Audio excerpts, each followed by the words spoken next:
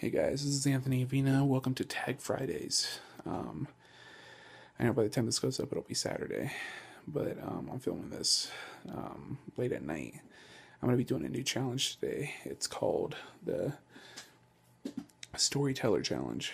Uh, I'm not sure if anyone's done this yet, but basically, what you do is um, you uh, try and make up a story as fast as you can. Um, now, if you can play this with more than one person, then you guys can see uh, whoever tells their story the fastest wins. Um, the way I'm going to do this, I'm going to try and tell a short, short, short story um, in just a few minutes. And um, it's kind of a combination um, weekly reading slash Tag Friday video because um, I did not film a weekly reading this week. Uh, it's been quite a hectic week if you've been watching my vlogs. So um, I'm going to be doing this, the Storyteller Challenge. I hope you guys enjoy it. Um, and in the words of the Joker from the Dark Knight movies, the great late Heath Ledger, Heath Ledger. Uh, here we go. Okay. Um, so let's do an innocent kind of uh, scary story. Um, okay. There was a young, a young kid, a young boy named Timmy, um, walking home from school one day. Um, he lived in California. Uh, the year was 2012, and uh, he lived with his mother in a apartment in Los Angeles. Um, walking home one day, um, he spotted. So hard making this up at the top of my head. I usually plan my things out, anyways um, he spots a small animal um, sitting by itself in the, this dark alley. Um, upon closer inspection, um, it looks like a stuffed um, animal, like a stuffed bear or something. It's a stuffed bear. Um, the bear is dirty, it's cold, it's wet from having been rolled around the streets and uh, yet he takes pity on it. He falls in love with it. He's an eight year old boy um, who's living with a single mother who works at all, all hours of the day to try and support them. And he's got no friends. So he decides he's going to take it home, he's going to clean it up, and um, give it a good, good home. He takes it home, he gives it a bath, he cleans it up and he decides to name the bear um, Pippin.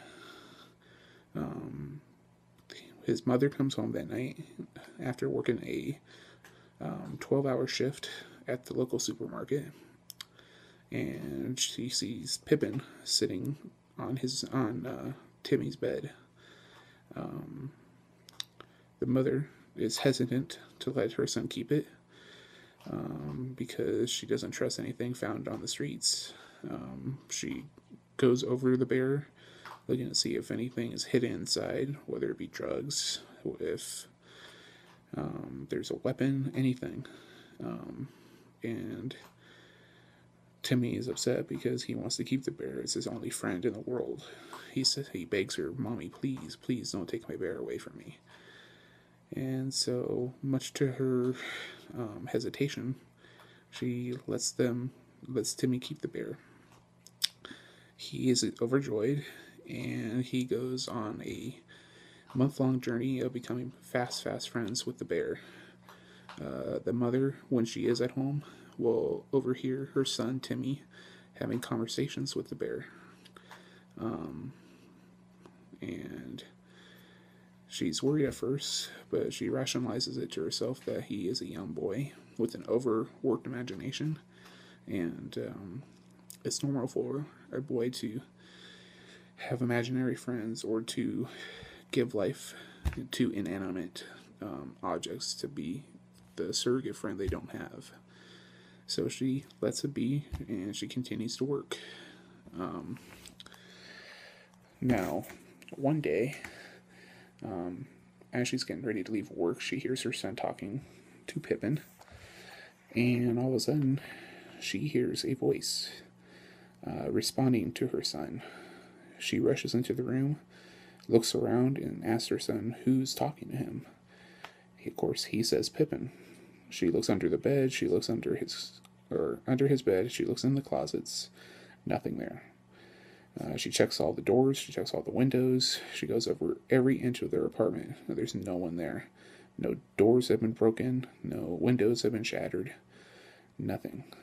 She um, decides to take uh, her son with her um, to work because uh, she doesn't feel safe leaving him by him by himself in the house.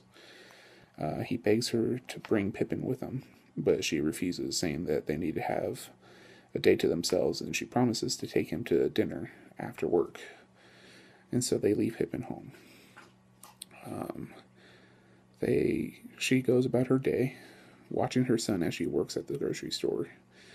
Uh, an hour before she's to get off work, she notices that her son has um, been sitting quietly in her office. Um, she works as a um, assistant manager at this grocery store in LA. Um, and he's mumbling to himself. She goes over and asks him if everything's okay. And Pippin is sitting there in his lap, and he's having a conversation with Pippin. She asks him where he got the bear, and he says that Pippin missed him and came to the store himself. Uh, she's feeling very upset, she's feeling very uh, nervous about um, how this bear could have gotten to their store without anyone bringing it to there. So she decides it's time for Pippin to go. She gets the bear, she puts it into the incinerator um, um, at their work, and tells her son that she will buy him a brand new bear.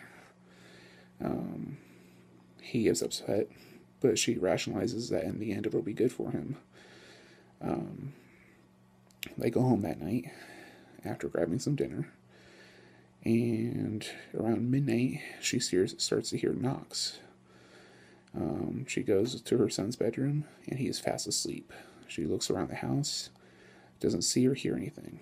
Just when she begins her thinking that it was all in her head, she hears the knocks again, coming from the front door.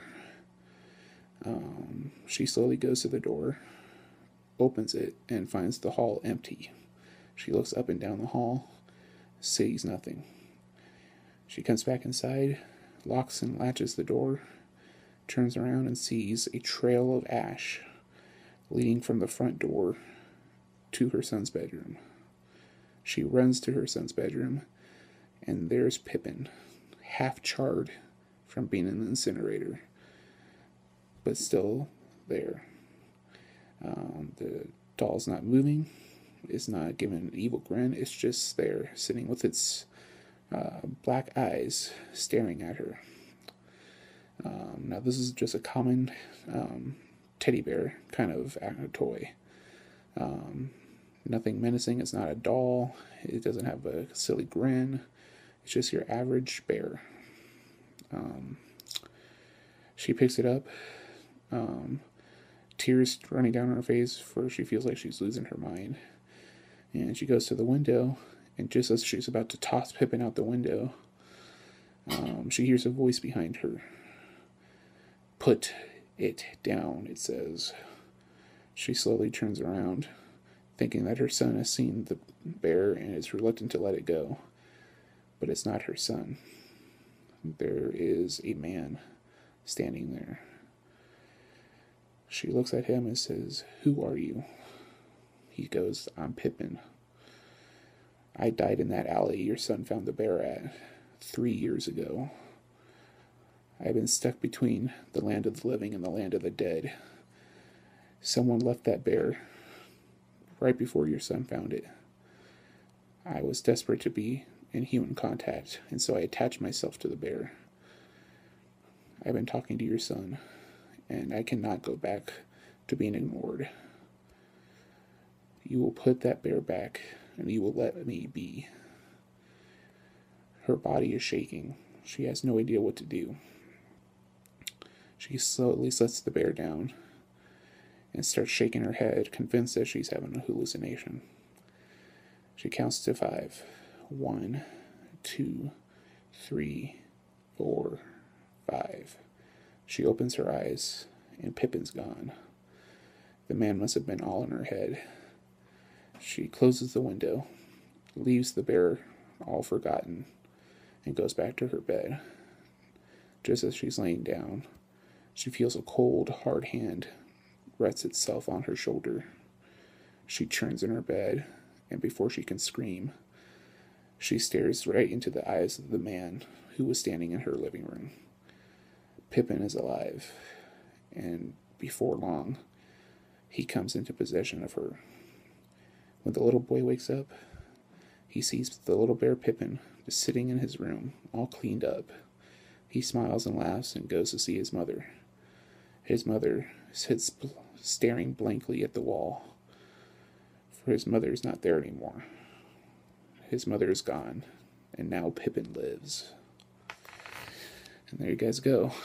That was slightly darker than I intended, uh, but that is just an off the hand uh, short story uh, that I came up with in my head.